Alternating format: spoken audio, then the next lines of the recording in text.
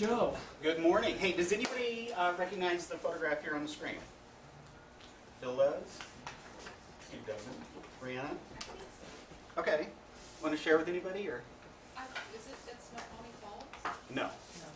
This is Falling Water, uh, a house designed by Frank Lloyd Wright, who's my inspiration person today, my significant person today. It was designed for the Kaufmann family, who were uh, merchants in the Pittsburgh area back in uh, the 1930s. So here's a photograph of Mr. Frank Lloyd Wright. Um, kind of a cantankerous old man. Uh, he had a fantastic body of work uh, spanning over 65 years. Um,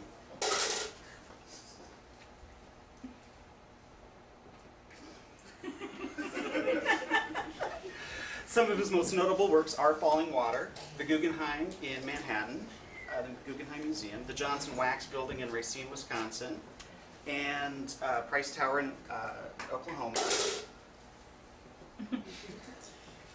And there is a private residence here in Lakewood that has been kept off of all of the radar, off the internet, that was also designed by Frank Lloyd Wright. Um, I have had the pleasure of actually visiting the home and having a very nice tour. Um, great people that owned it, so I can tell you where it is after class. Uh, his great success came at the price of poorly designed buildings. He was not an engineer, he was an architect and a visionary. So the Johnson Wax building, funny story about that was that the continues to leak today. That was part of the charm of the building, quote unquote. Uh, the president of Johnson Wax at the time kept a bucket in his office. And the leak that was above his desk, he would just put the bucket on his desk during rainstorms. Um, he, Frank was a taskmaster. He didn't really employ people. He had minions working under him, draftsmen and other architects. Uh, when he developed Taliesin West in uh, Arizona, he just basically loaded up carloads of people and drove them west. Um, didn't pay them virtually slave labor. They raised their own produce and vegetables and, and dairy animals, things like that on the farm. Um, that was where he produced some of his greater works, though. Um, he, Billy, I'm going to come back there.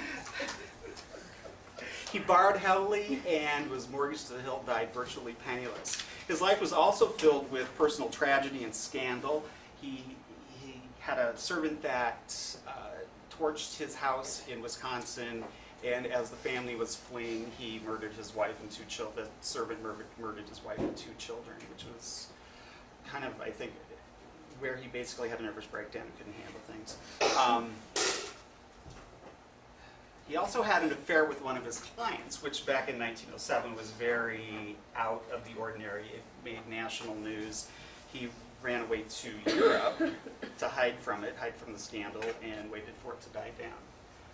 Hopefully, I've enlightened you about some of Frank Lloyd Wright, one of America's greatest architects. Just remember that great works are often remembered, not necessarily how they were achieved. So go, go do good things. Don't tell anybody how you